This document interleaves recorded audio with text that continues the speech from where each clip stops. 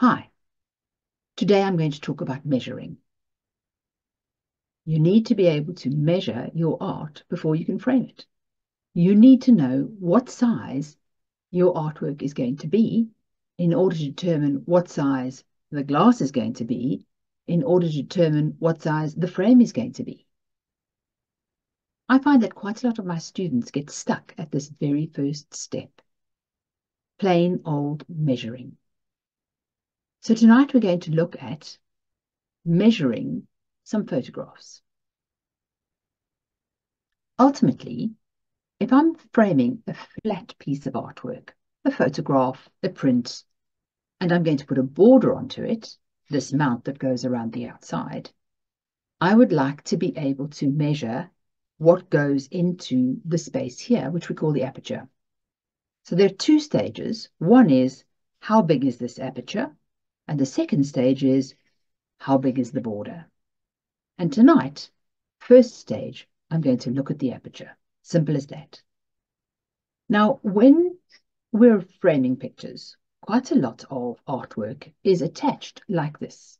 In other words, it's attached loose in two spots along the top, not a whole long piece of tape that goes all the way around it and freezes it down, not stuck down with glue. But if we attached with a hinge like this, it can be reversed. In other words, I can remove it out of this mount and reframe it, and it's less damaging and invasive on the artwork. These are T-hinges, but we'll come back to those another day. So what I'm trying to do is measure this art so that when I close that book mount, the, the aperture over the top of it, it doesn't fall through the hole. So there's no piece of the art that sticks out the edges. And the Fine Art Trade Guild in the UK says that we should have five millimeters that is trapped by this mount board. So the very first stage is to look at a photograph or a painting that fills the page. In other words, it's edge to edge. Now I want the whole piece to be framed. I want a mount to go around the outside of it. So I need to make sure my mount comes over the edge by at least five millimeters. So at the very basic level, working with measuring, we're going to take the whole image and then reduce it by five millimeters to find the aperture. So I mentioned that there are two numbers that I'm looking for. One is the aperture and one is the glass size. The aperture is that part of the artwork that I can see. The hole in the middle, the window, the little piece that the artwork sticks through. That's the aperture. And typically what I do is measure the whole size of this photograph. I'm right up against the edge of the photograph and I'm measuring that. And this one is 296. So the number is 296 millimeters. And I'm going to take five mils of each side. In other words, I'm going to less it by 10. So instead of 296, I'm saying that that's 286. We're talking millimeters. By, and now I'm going to look at the height.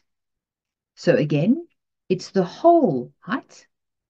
And in actual fact, what I should be doing is not even putting it onto the artwork next to the artwork here.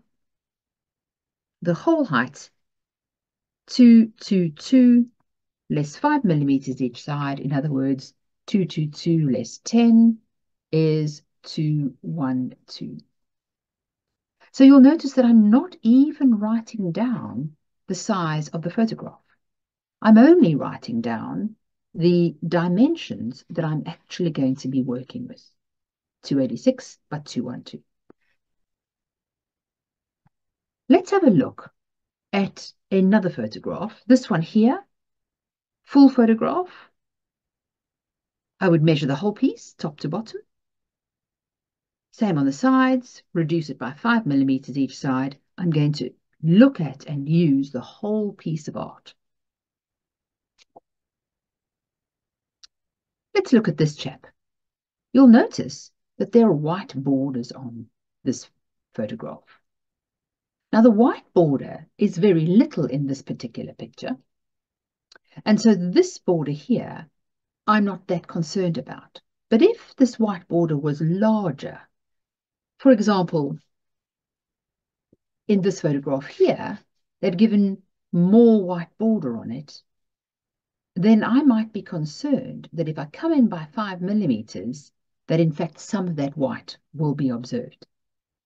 So in this case, my concern is that I need at least five to be trapped by the mount, but possibly I could come in by a few millimeters and say, actually, I'm going to work with my rulers just inside that measurement there to just inside the measurement here. I'm going to take 230. So I'm not going to take the 245 that it is, minus 5 each side, which is 235. Because 235 is very close to on the white border there. And so I don't want that. I'm going to come inside a little bit into the color and inside a little bit into the color and in this case, I would use 230. Same on the length. If I took the full length here and gained the full length is 295. So if you used my rule, 295 less 5 each side is 285. If I put the ruler on for 285, well, that would work in this case. 285 is fine because there is not quite so much white top and bottom here. So I can go with the 285, I'm going to try and exclude that white.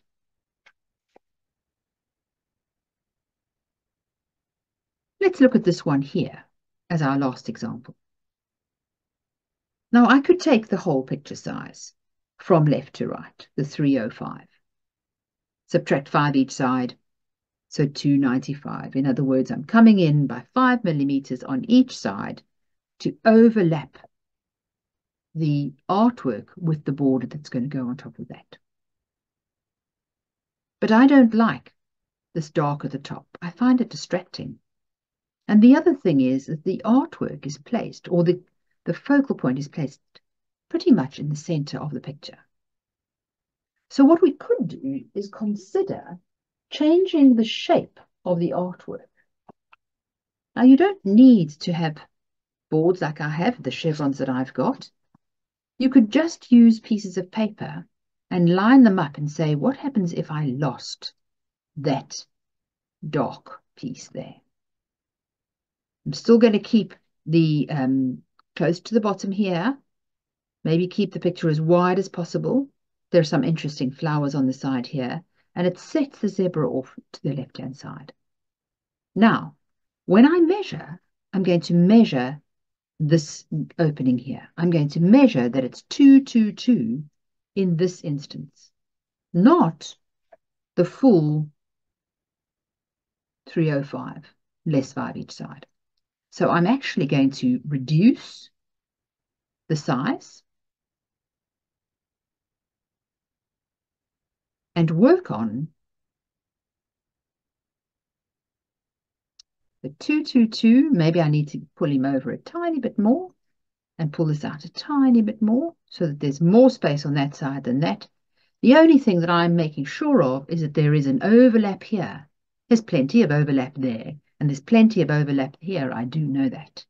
So here, 230 would be my aperture. So for this piece here, for this little zebra example, the aperture is 230 and the height of this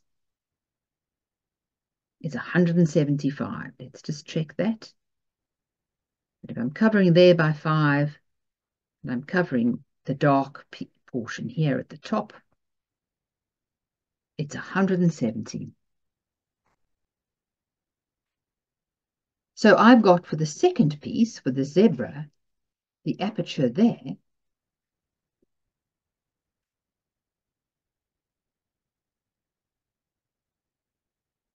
is much smaller than the aperture for the one above, although the photographs are the same size. I hope this little exercise was useful for measuring.